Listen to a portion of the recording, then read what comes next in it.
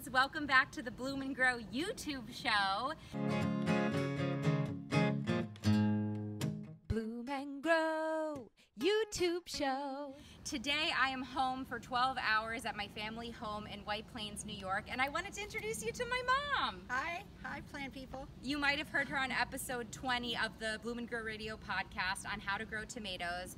My mom is the most epic gardener. She taught me pretty much everything I know about my little balcony garden. So I thought it would be fun to give you a tour of Failla Farm. So, mom, how many years have you had Failla Farm?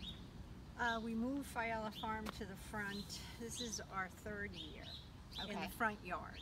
And Right. every year it's bloomed and grown. And it gets bigger and bigger. so what's the layout here? Walk us through before we take a walk of what your thoughts were. Okay, so this year I started a new bed that curves along our walkway. In the spring, we have a beautiful bed of irises and Queen Anne lace right over here. Then we continue on and we have my marvelous bean patch. In my bean patch, I grow cranberry beans, Those are so beautiful. I love the color of those. and then I have different color string beans. Here's some purple. We've eaten most of them. We've Here's a purple string bean. Here, let's pick one of each and we can have a little photo. Here's a yellow string bean. So one plant like this will give me about 10 beans. I have purple and They've exploded with growth. We've had just like bushels of beans. bushels of beans. so aside from the bean patch, which you'll notice I have these nifty little um, Trell, like little baby trellises. baby trellises that hold my beans. Um, we're going to be pulling these bean plants today because they're pretty tired. And on the side of the bean plant, come here, we have kale, cabbage, and cauliflower. So kale, cabbage, and cauliflower. Also, what you haven't seen, we've been pulling weeds and staking tomatoes all day. We've showered since, so you wouldn't know it. But we have six of these of weeds that we pulled today. So gardening is hard work. yeah. as I was pulling the weeds, I noticed I have a wild tomato growing. Look at that. I did not plant him. He's been seeded by either an animal or the wind. Probably the rabbits that eat the tomatoes and then they bring the seeds over. That's amazing. So that's that. So this is cabbage, kale, marigolds to keep the bugs away and the um, animals away, beans, and zucchini. My daughter brought uh, Spanish strawberries, and if you come down here, you'll note that an animal has eaten one. Uh-oh. These animals! Well, They keep coming for your stuff, Mom. There's so much here. I, I got it. I have an herb garden that's right in front of the front doorstep because I don't want to have to walk too far when I'm cooking to grab my herbs. So I have cilantro, which is actually in bloom, and you can eat it completely. Cilantro is That's these also pretty white flowers. coriander. It's also known as Gorgeous. Um, it does give you a pretty flower, so you can still eat that. Um, but the interesting thing about the cilantro is that it has self-seeded itself on the other side of my yard. And you didn't plant it over there. I there. did not plant it over there. Here is the sage that keeps coming back. And you have some of Nani's, our, So my grandma's sage, right? I have sage that I planted myself. It's just a beautiful smell. And then I have a very thick, round sage plant that's in there, which is my mother's plant from her garden in Queens. This plant has to be about 50 years old. He keeps on coming back. Yeah, she took it from my grandparents' house and planted it in our old house, right? And then planted Planted it here, here, right? right. So it's lived in three different different gardens and it just keeps coming back. And um, I have rosemary over here. I have sage. I have oregano. Then I have more weeds. I have weeds So many weeds. I have oregano. I have mint. I did not plant this mint, but this mint is taking over two feet of my yard. Anyway, on this Darn, side, Mint. I have thyme, I have basil, I have tarragon. This is tarragon, German thyme, and I have lemon thyme. Some of the thyme seeds itself in between the pavers here that I pulled out. I'm trying to clean this up today. Today I This is the yarn we were um, we staked all of our tomatoes with. tomatoes today just with simple yarn. So we tied all of the tomato plants to some big stakes over there. Which you'll Let's see. go check them out. Now we are approaching The lettuce. the heavy duty part of my garden. Yes. I said in the in the spring I go to Home Depot and I buy little leaves of lettuce and I try to pick different colors and plant them as if they were different flowers in my front yard. This becomes an edible arrangement of beauty. You really do use edible plants as landscaping. I do use You really do. plants. This is entirely edible and it's probably the prettiest thing on our block. Wait, just Yeah. People stop all the time. Yeah. So I start with marigolds here, and then I have different types. I have cabbage, I have green leaf lettuce. This is actually romaine. I have red leaf lettuce. I have um, chicory. I have red leaf That one's lettuce. really pretty. Chicory is very pretty. I have four eggplants in there. Notice a little eggplant purple flower. So hopefully this will bring me a little eggplant.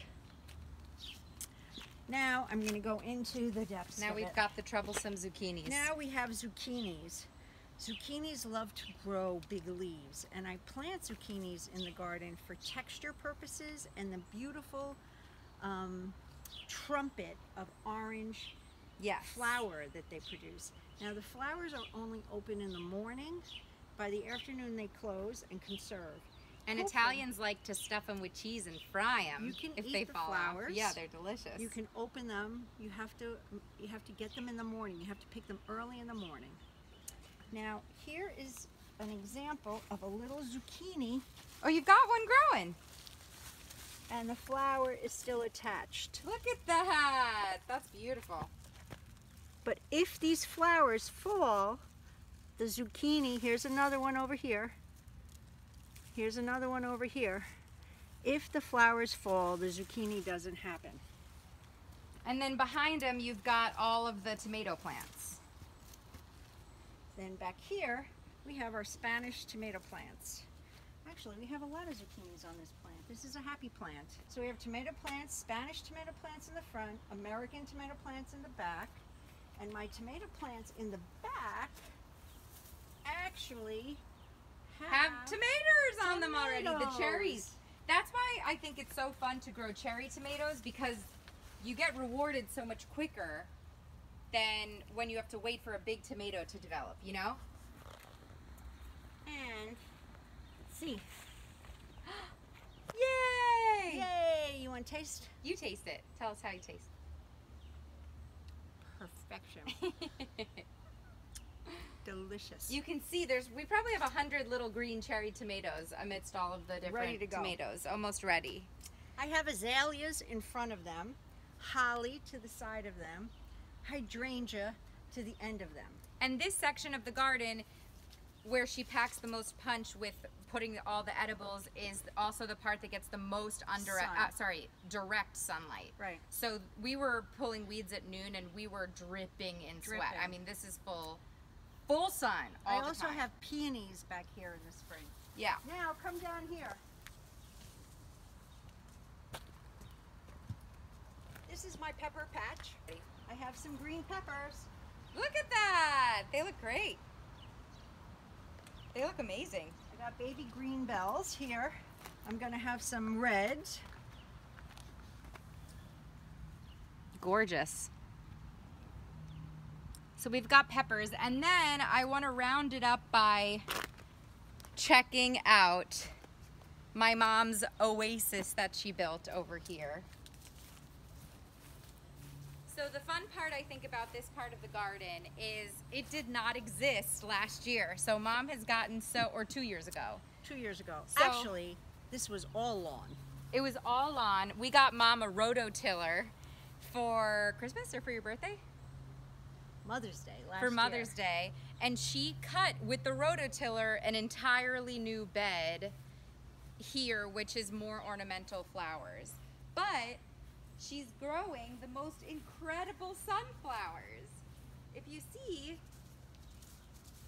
that's a sunflower, that's a sunflower, that's a sunflower. There's probably 50 sunflowers in here. Um, yeah, 70. And then it's a wall fence of flowers. Yeah, it's so beautiful. It's just such a joyous part of the garden. And here's something very interesting that I learned. We are going to take a tour of my sunflower problem. So, I have Tell us. I have some animals that like to eat sunflowers. Yes. I'm not happy with them. No. So let's go see what I did. All right, so now we need to talk about the sunflowers and the animals that are eating my mother's sunflowers. Yes. So I have chipmunks or rabbits that like to nibble at the bottom of my sunflower. And they, I wake up in the up. morning and they crack it in half. So I take electric tape and I tape it up.